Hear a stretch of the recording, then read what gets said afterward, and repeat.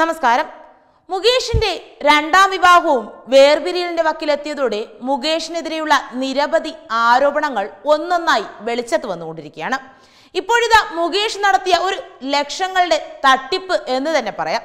അത്തരത്തിലൊരു സംഭവമാണ് പുറത്തു വന്നിരിക്കുന്നത്.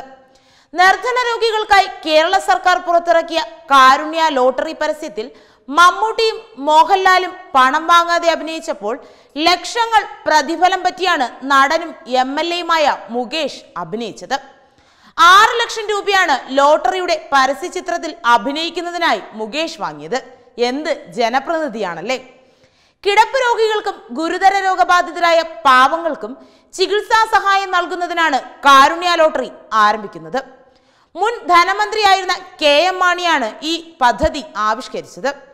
പദ്ധതിയുടെ നല്ല വശം മനസ്സിലാക്കിയായിരുന്നു മോഹൻലാലും മമ്മൂട്ടി അടക്കമുള്ള മഹാനടന്മാർ പരസ്യ ചിത്രത്തിൽ അഭിനയിക്കുന്നതിന് പണം വേണ്ടെന്ന് അറിയിച്ചത്. ഇവരെ കൂടാതെ കാരുണ്യ ഭാഗ്യക്കുറിയുടെ പരസ്യ ചിത്രത്തിൽ Priyadarshan Innocent Prithviraj M G Sreekumar Suraj Venjaramoodu K S Chithra Dileep Ashokan Menaka Jayachandran Kavya Madhavan Kaviyoor Ponnamma Madhu Manoj K Jayan K M Mani എന്നിവരും അഭിനയിച്ചിരുന്നു. എന്നാൽ ഇവരാരും നിർധന രോഗികൾക്കായുള്ള ലോട്ടറിയുടെ പരസ്യചിത്രത്തിൽ അഭിനയിച്ചതിന് ഒരു രൂപ പോലും വാങ്ങിച്ചിട്ടില്ല. എന്നാൽ കൊല്ലം എം എൽ എ ആയ മുകേഷ് മാത്രമാണ് പരസ്യചിത്രത്തിൽ ലക്ഷങ്ങൾ വാങ്ങി അഭിനയിച്ചിരിക്കുന്നത്. അവനവൻ കുരുക്കുന്ന കുരുക്കഴിച്ചെടുക്കുമ്പോൾ ഗുലുമാൻ. അതാണ് പണ്ട് മുതൽ മുകേഷിന്റെ ശീലം.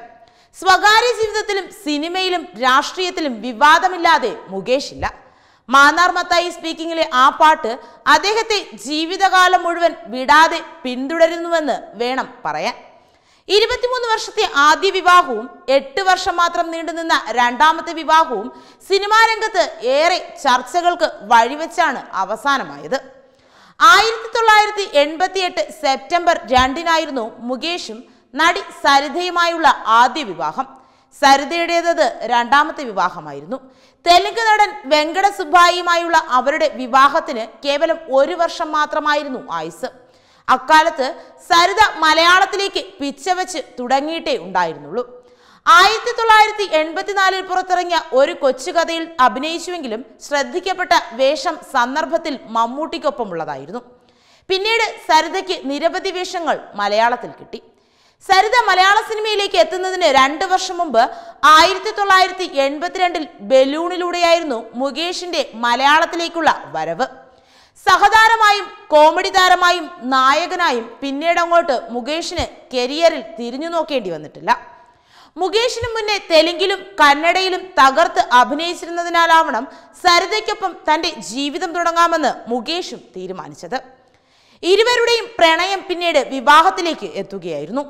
ഇരുപത്തിമൂന്ന് വർഷത്തെ ദാമ്പത്യത്തിൽ സരിത മുകേഷ് ദമ്പതികൾക്ക് രണ്ട് ആൺമക്കൾ ശ്രാവൺ തേജസ്. ഇരുവരും വിദേശ സർവകലാശാലകളിൽ പഠനവും ജോലിയുമായി കഴിയുന്നു. എന്നാൽ രണ്ടായിരത്തി പതിനൊന്നിലാണ് മുകേഷ് സരിത ദമ്പതികൾ വിവാഹമോചിതരാവുന്നത്. നിരവധി ആരോപണങ്ങൾ അന്ന് സരിത മുകേഷിനെതിരെ ഉന്നയിച്ചിരുന്നു. മുകേഷിനെ കാണാൻ പാടില്ലാത്ത പല സാഹചര്യങ്ങളിലും താൻ കാണേണ്ടി വന്നതായും തന്നെ ഉപദ്രവിച്ചുവെന്നും മുകേഷിന്റെ മദ്യാസക്തിയും തുടങ്ങിയ നിരവധി ആരോപണങ്ങളാണ് സരിത അന്ന് ഉന്നയിച്ചത്. ഒടുവിൽ താനുമായുള്ള ബന്ധം വേർപെടുത്താതെയാണ് മുകേഷ് ദേവികയെ വിവാഹം കഴിച്ചതെന്ന് വരെയും സരിത പറഞ്ഞിരുന്നു. ഗുലുമാലിലായ മുകേഷ് പിന്നീട് വിവാഹബന്ധം വേർപെടുത്തിയെന്ന് പറയേണ്ടി വന്നു. മേതിൽ ദേവികയുടേതും ഇത് രണ്ടാം വിവാഹമായിരുന്നു. ഒടുവിൽ അതിനും പരിസമാപ്തി കുറിച്ചിരിക്കുകയാണ്. ഇനി മൂന്നാമതൊരു വിവാഹത്തിന് മുകേഷ് എന്ന സഖാവ് ഒരുങ്ങുമോ എന്നതാണ് സിനിമ ആരാധകരുടെ ചോദ്യം. വെബ് ഡെസ്ക് തത്തുമീ ന്യൂസ്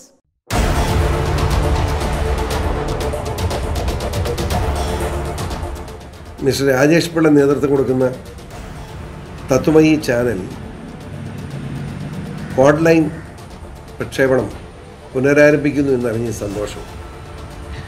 ഇത് ആരംഭം കുറിച്ച സമയത്തും ഞാൻ തന്നെ അഭിപ്രായം രേഖപ്പെടുത്തിയിട്ടുള്ളതാണ് ഏതായാലും പുനരാരംഭിക്കുന്ന ഓൺലൈൻ സംവിധാനത്തിന് എല്ലാവിധ ആശംസകൾ അർപ്പിക്കുകയാണ്.